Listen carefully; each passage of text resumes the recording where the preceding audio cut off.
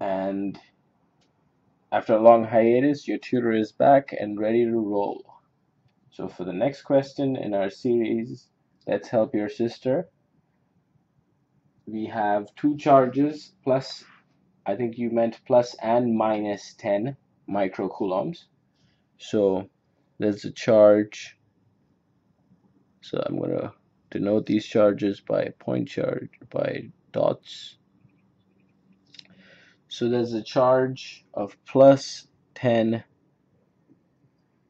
microcoulombs and minus 10 microcoulombs placed at a distance 5 millimeters apart.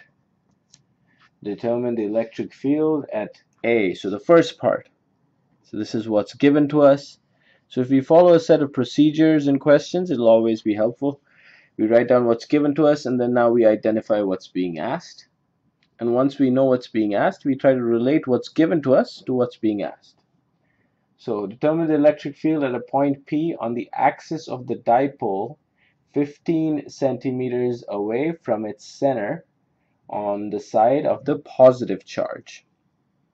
So first of all dipole is a combination of a positive and a negative charge of equal of equal charge. So this is a dipole. So the axis of the dipole is the line that connects the two.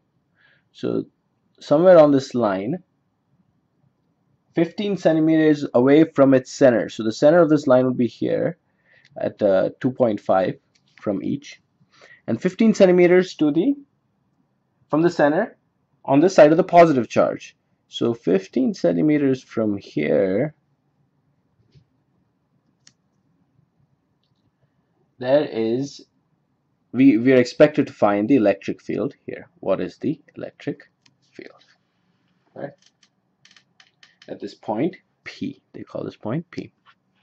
So first of all what is the formula for electric field? Electric field is K Q divided by R squared. Electric field like electrostatic force is a vector this one's formula was q1 q2 over r squared. And what is what is the property of a vector? It has a magnitude. That means it has a value and it has a direction.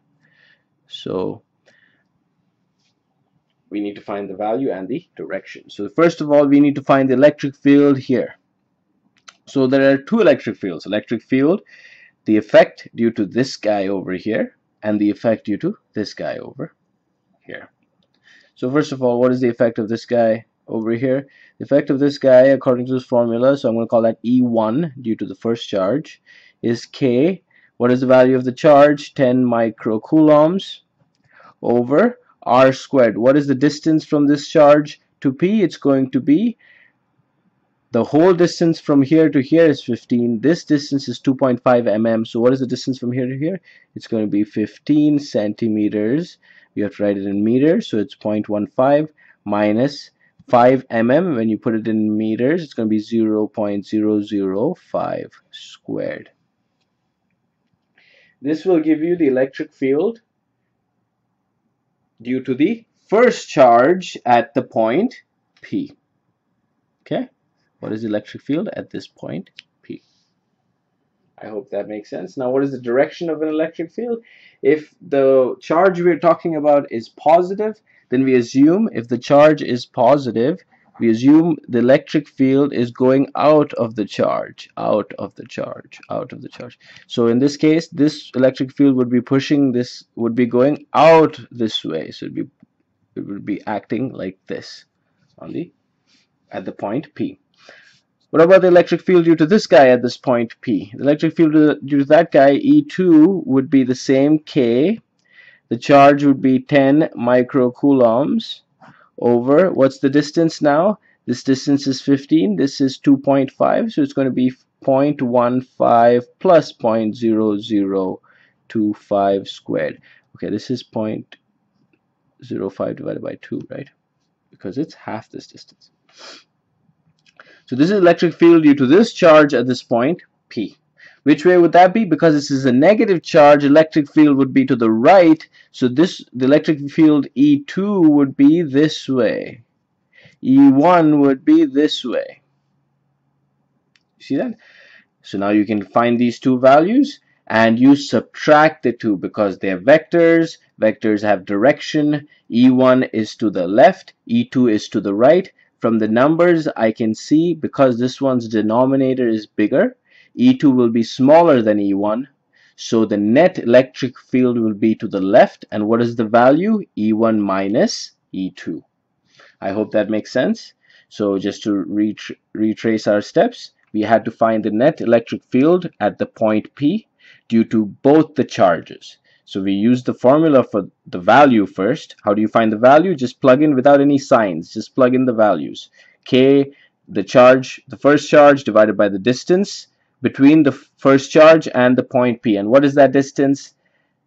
This, the distance from here to here, the center is 15 centimeters, so it's going to be 15 minus half the distance between the two charges. I hope all of that makes sense.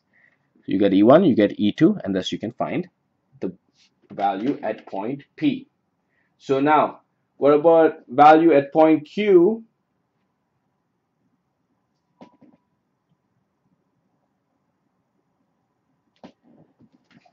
So now this part B is same setup, except the point now they're talking about, so now you have a 10 microcoulomb charge here, a minus 10 microcoulomb charge here. But now the point they're talking about is 15 centimeters away from O on a line passing through O and normal to the axis.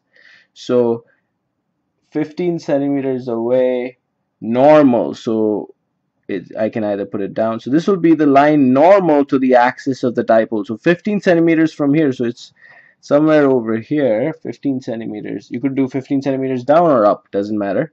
You get the same answer. At this point, Q, what is the electric field? Okay.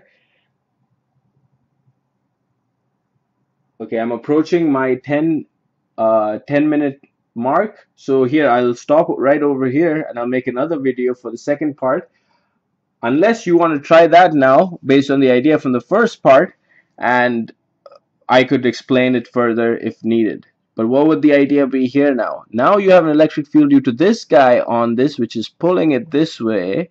This will be E1. You have an electric field due to this guy on this which will be pushing this this way which will be E2 because they're vectors if you want to add them up they have to add the x components together and the y components together. Does that kind of make sense? I don't know if it does. If it doesn't we can go over this in another video. Just drop a message I've been quite busy running around with multiple projects I'm sorry for such a delayed response but it's the weekend I should be able to record another project before I start running my ass around tomorrow much love, Molo. Take care. Bye bye.